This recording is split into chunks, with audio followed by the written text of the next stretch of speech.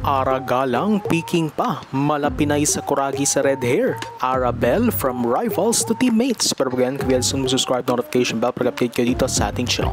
Kung may Pinoy sa Kurago ang Pilipinas na si Mark Pingaris, aba meron na atang Pinay sa Kuragi sa volleyball.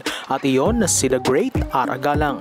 Yan kasi ay matapos na patuloy niyang ibida ang kanyang red hair para sa Cherry Tigo crossovers. Nakuha nga ng crossovers ang second win nila sa conference na ito kontra sa Next Led Chameleons.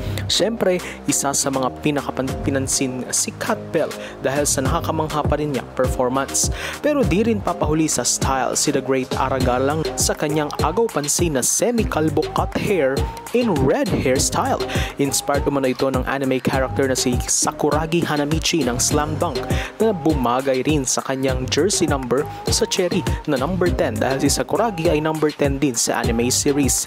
Nung nag-start ako sa Cherry kasi sakto nag number 10 ako eh. Plano ko na rin mag red hair. Inano ko na rin naman na parang syempre sa Kuragi yun, di ba?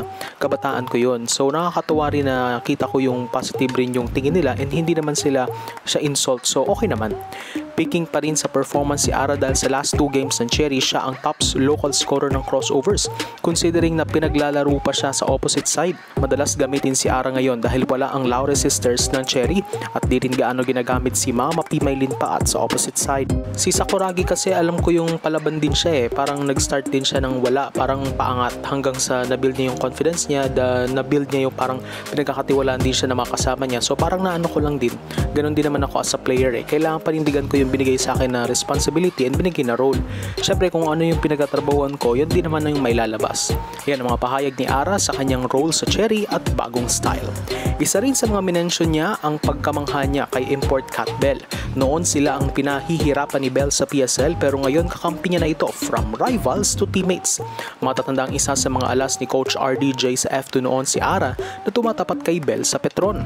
Buti na lang umano ay kakampi nila ngayon si Bell at hindi kalaban.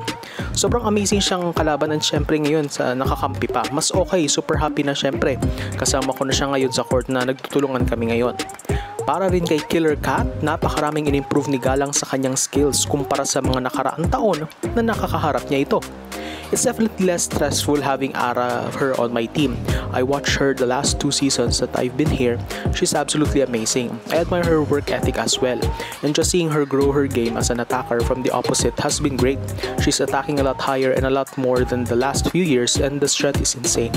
I can tell she's been in the gym working hard and I'm just so glad to have her as a teammate and not as an opponent anymore. So far, low-rank teams pa lang ang nakakatapat ng Cherry at mas masusubukan ng koponan sa panahon na maglalaro na sila kontra sa mga top teams sa Pool A like PLDT and Creamline. So throughout the videos, for support this channel, please subscribe notification bell updated on my coming videos.